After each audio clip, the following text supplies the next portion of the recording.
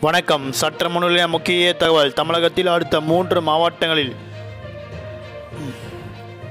கற்குக்கண் வணக்கம். சற்று முன்னிலைய முக்கிய தகவல். தமிழகத்தில் அடுத்த மூன்று நாட்கள் இந்த மாவட்டங்களில் மழை பெய்ய வாய்ப்புள்ளதாக சென்னை வானிலை ஆய்வு மையம் கூறப்பட்டுள்ளது. அதன்படி எந்தெந்த மாவட்டங்களில் இடி மினக்கூடிய கனமழை பெய்யக்கூடும்? இளமை இப்போ நம்ம பிரீஃபாக பார்த்தலாம். மறக்காம ஸ்கிப் பண்ணாம பாருங்க. உங்களுக்கு இதே போன்று மழை பற்றி முக்கியமான விவரங்கள் உடனுக்குன்னு தேவையா நம்மளோட சேனல் கீழே இருக்க ரெக்க பட்டனை கிளிக் பண்ணி சப்ஸ்கிரைப் பண்ணிக்கோ. பக்கத்தில் பெல் பட்டனை கிளிக் அப்போ தான் நான் டெலிவரி போடுற வீடியோ உங்களுக்கு அவசரம். இந்த வீடியோ உங்களுக்கு பிடிச்சிருந்தா லைக் பண்ணுங்கள் ஃப்ரெண்டு ஃபேமிலி எல்லாருக்குமே ஷேர் பண்ணுங்கள் வீடியோவை கொஞ்சம் ஸ்கிப் பண்ணாமல் கடைசி வரைக்கும் பாருங்க. இப்போ வாங்க வீடியோக்குள்ளே போகலாம். தமிழகத்தில் பல்வேறு மாவட்டங்களில் வறண்ட வானிலையே காணப்பட்டாலும் அடுத்த மூன்று நாட்களுக்கு ஒரு சில மாவட்டங்களில் மழை பெய்ய வாய்ப்புள்ளதாக சென்னை வானிலை ஆய்வு மையம் தற்போது புதிய அறிவிப்பொன்று வெளியிட்டுள்ளது. இந்த நிலையில் இன்றும் நாளையும் தமிழகத்தில் ஒரு சில மாவட்டங்களில் மழை பெய்ய வாய்ப்புள்ளதாக சென்னை வானிலை ஆய்வு மையம் தெரிவிக்கப்பட்டுள்ளது. இது குறித்து வானிலை ஆய்வு மையம் இயக்குனர் புவியரசன் தற்போது புதிய அறிவிப்போடு வெளியிட்டுள்ளார்.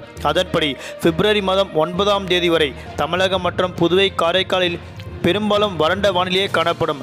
பிப்ரவரி மாதம் பத்தாம் தேதி கடலோர மாவட்டங்கள் தஞ்சாவூர் திருவாரூர் புதுக்கோட்டை நாகப்பட்டினம் மயிலாடுதுறை மற்றும் காரைக்கால் பகுதியில் லேசான முதல் மிதமான மழை பெய்யக்கூடும் என்றும் மற்ற மாவட்டங்களில் பெரும்பாலும் வறண்ட வானிலை நிலவும் என தற்போது சென்னை வானிலை ஆய்வு மையம் கூறப்பட்டுள்ளது.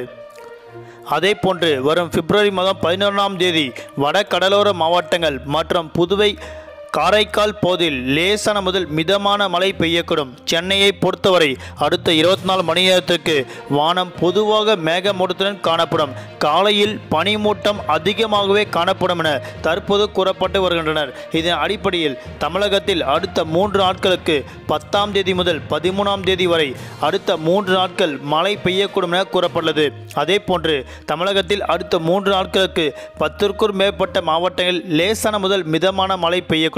மற்ற மாவட்டங்களில் பெரும்பாலும் வறண்ட வானிலை நிலவும் என கூறப்பட்டது அதே போன்று தமிழகத்தில் மீண்டும் மீனவர்களுக்கு எந்தவிதமான எச்சரிக்கையும் விடுக்கப்படவில்லை என தற்போது வானிலை ஆய்வு த கூறப்பட்டு வருகின்றனர். நன்றி வணக்கம்.